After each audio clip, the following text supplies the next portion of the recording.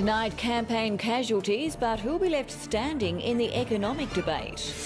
Peter Andren farewelled as a man of the people.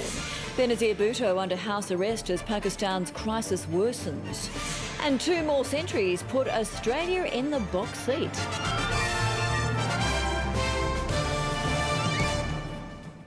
Good evening and welcome to ABC News. I'm Virginia Haussegger. Homeowners are being warned of another pre Christmas